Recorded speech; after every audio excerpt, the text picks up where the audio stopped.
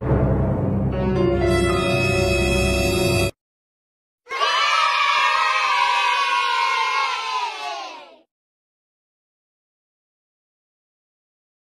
this.